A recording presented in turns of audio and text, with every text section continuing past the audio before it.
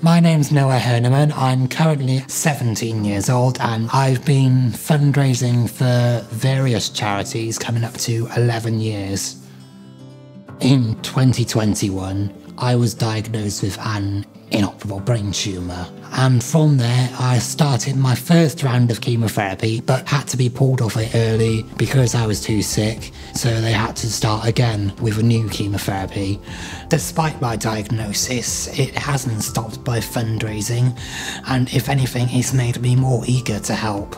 And the thing I'm most proud of is Noah's Retreat, which is a lodge in Burnham on Sea where families with diagnoses of terminal conditions can go to make memories and have a good time.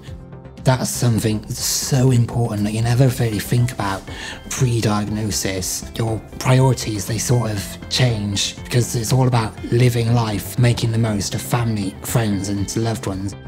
There's just always something about Noah. He's just so positive. He's always had an ethos from a very early age of helping other people.